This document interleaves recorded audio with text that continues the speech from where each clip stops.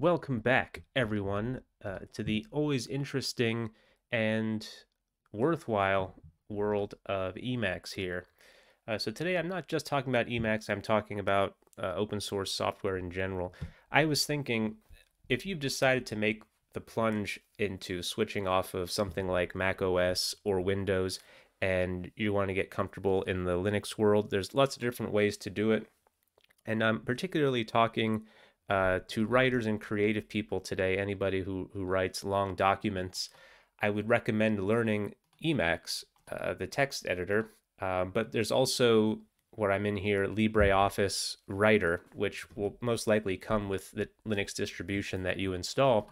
And this is a great program. It does a lot of the things that you need to do if you're if you're writing a document. You can format your text, you can you can print it, you can you know do all the things that you would do in Microsoft Word or some of these other programs, uh, Apple Pages and things like that. So it's a very good tool. But on the other side, Emacs has something called org mode, which is a uh, a very popular program that has a lot of additional features in it. Uh, the downside is that it's a little more difficult to learn how to use. Uh, you've got my videos, you've got lots of other great tutorials online, so you've got a lot of help in terms of getting to know this uh, this software well. But the question is, well, if if LibreOffice Writer does everything that you need it to do, then why would you want to spend the time uh, learning Emacs or one of these other tools? Uh, are they going to justify the amount of effort you're going to put into them? So the question I asked is, you know, for somebody who is interested but hasn't really taken the plunge yet, is there anything that org mode can do better? So yes, you can you can do the same things. Let's say you need to get this document into standard manuscript format, let's say, because you're going to submit it to a, a magazine or something. You can do everything you need to do. You could you could highlight these areas and you can put them in the right font. You could put in the right margins, or you could have org mode just send it to standard manuscript format and all the formatting is done for you. Does org mode do that better? Well, I'll say yes, and I'll show you some uh, some reasons why. Okay, so I have now just opened up the same document I was working in in LibreOffice in org mode here. And uh, the reason you know it's in org mode is because it says org down here. Uh, that indicates that you're in the correct mode, and the file ends with a .org extension. So as I was saying, you can get this to standard manuscript format and everything you, you need it to do right from org mode, but why would you want to bother, you know, learning how to do that? Org mode is not just a, a system for writing a document, it's also a, a syntax. It's a way of writing. You can isolate parts of your document uh, with more control and understanding what's going on. So if, if you wanted to put all of this uh, second paragraph into a quote, you could open up a quote block here and just copy you know, copy this section into it. And now that's a quote block. So what does it actually mean to be in a quote block? Well, that depends on on the the output and how it's it's formatted on the other side. So you know, like H.P. Lovecraft had large sections of his stories that were a report from a letter, or uh, so the person telling the story pauses and then it goes into somebody's long uh, recitation uh, from their their letter or their report or something they wrote. So if you wanted to isolate different sections of your story like that and be able to quickly switch between them and know what's going on, it lets you do that with some more control. So you don't have to necessarily go into LibreOffice and format it and think, well, you know, should I should I center that or should I indent it or what I should do? You can determine all of that later, and you can just use these um, these different types of, of syntax to isolate things the way you want. And of course, you know, if you wanted to italicize something, you don't have to, you know, highlight it and look for a button to click uh, italicize. You just do uh, these forward slashes, and then that indicates that that is something that you want to be emphasized. Uh, alternatively, you could put in uh, these underscores to indicate that you want that to be underlined. But you get to start to see the big picture conceptually is that these don't have to indicate underlining or emphasizing. You could have them do something else on the back end once you've exported it. So, yeah, those are the default behaviors, but you can customize all of this. So you start to see that it gives you a level of flexibility and freedom, or I guess I'd rather say control over your text output than what other programs can give you. And also one of the the biggest benefits of writing with plain text in general, but Emacs uh, in particular, I'd say, is that it gets you to think in terms of structure, not just, you know, just just writing and and getting out uh, whatever uh, feelings or emotions or or, or uh, you know what you're trying to express while that's important thinking about how the story is structured or the the pace of your document how you've got things organized will allow you to be much more effective whether you're trying to persuade the reader to to think a certain thing or to focus on one element uh, in particular. You can really just go go wild as far as the the sky being the limit as far as what you can do in terms of how you want to structure the document and have it structured in the most optimal way. For example, I'm just going to put in the you know the the title here and you can put in your author information. And now when I'm thinking in, in terms of structure, so in org mode, you have you have headings, right? So this is heading level one. But you can also have multiple levels all the way down. You know, you could have five or six levels if you needed. Because org mode is basically an outlining tool. So that that was how it started. So what it allows you to do is merge outlining and writing at the same time. So if you like to just write and write and write and you don't want to start with an outline, you don't have to. You can do that. You can just get all your thoughts down, uh, do like a sort of a writing into the dark or whatever you want to call it. And then you haven't actually closed off your option for outlining. You can always go back at any time and give your give a, a sense of organization to the writing. After you're you're cooled off or you might be in, in sort of like a, a line editing mode or you're just you're thinking more structurally about your story.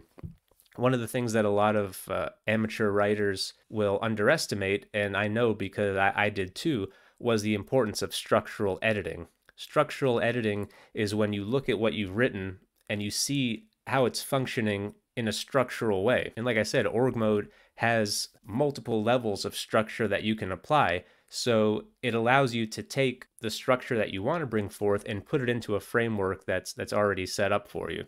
So so for example, if I looking at if I'm looking at these three paragraphs here, I can actually go in and start to think, okay, what is this first paragraph about? It says, you know, in an upper room of an unoccupied dwelling in the part of San Francisco. Okay, it sounds like, you know, this is this is setting up the the scene so I could put something up here like setting up the scene. And you see there's factual details of description, uh, visual details. Uh, the weather was warm. The two windows, contrary to the custom which gives the dead plenty of air, were closed and the blinds drawn down.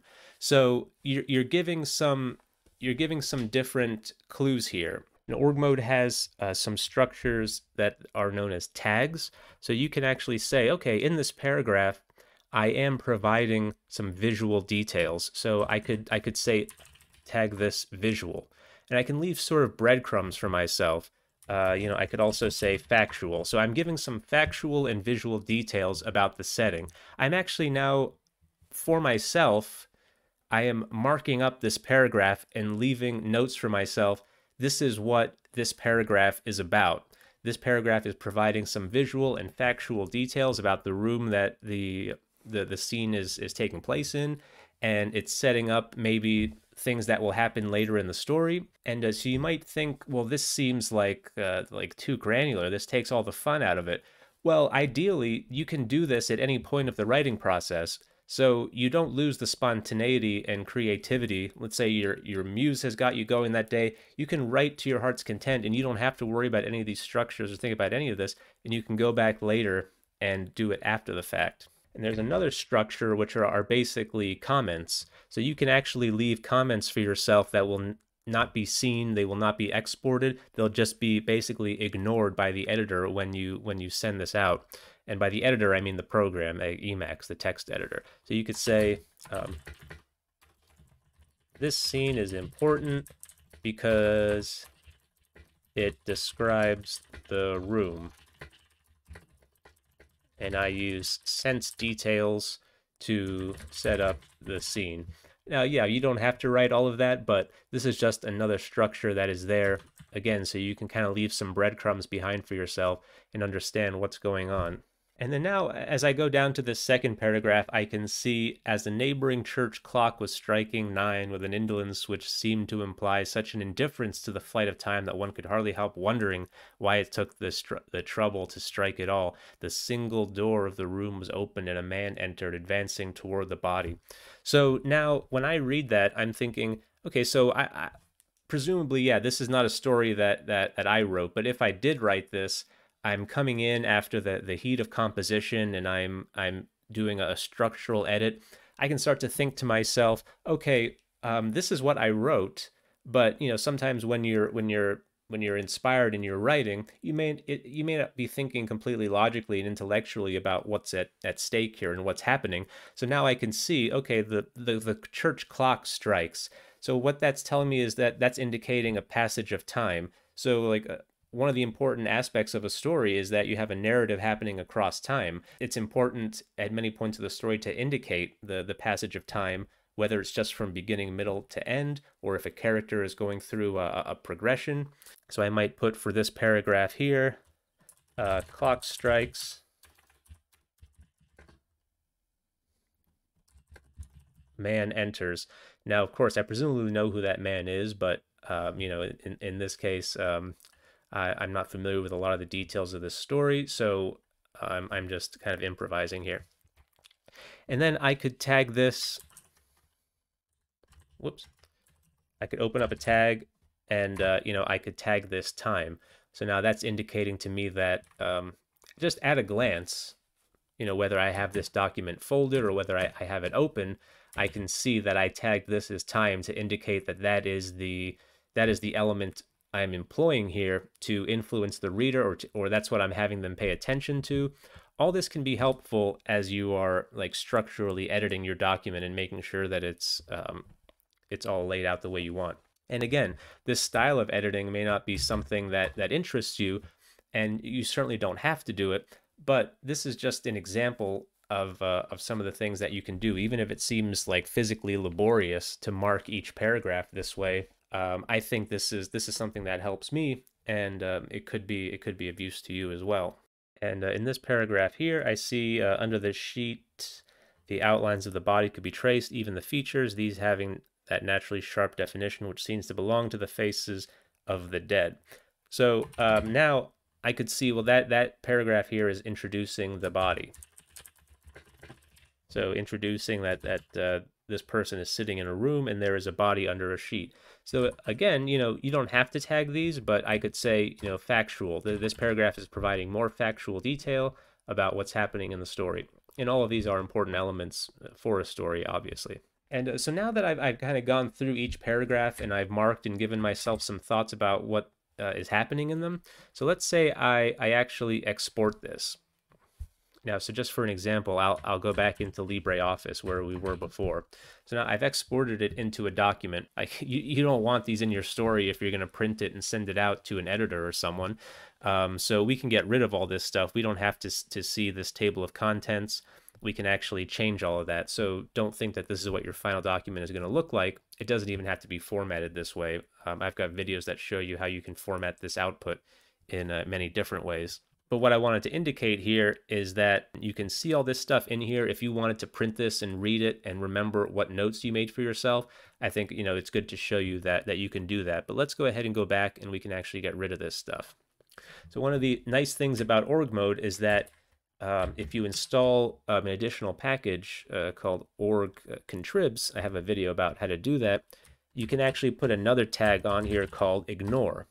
So if you put the ignore tag on each one of these uh, these sections here, I'll show you what's going to happen. But before we before we do the export again, I'm just going to put TOC nil. That's going to exclude the table of contents from the export. So now let's go ahead and, and do the export again. All right, so now this is starting to look uh, a little bit cleaner. And uh, so you can see that the, the titles that I put over each paragraph, those were, were section headings those are excluded now. And of course, you can include section headings if you want. Any heading that you have that you didn't put the ignore tag on will be included. So again, this is giving you more granular control over what you're including in the final export of your document. What that shows you is I was telling you about thinking in structure. So you can apply a very rigorous structure to your document, but then not have to be uh, married to it in terms of what the final outlook is going to be because yeah obviously you don't want your reader seeing your your tags your comments or any of these things.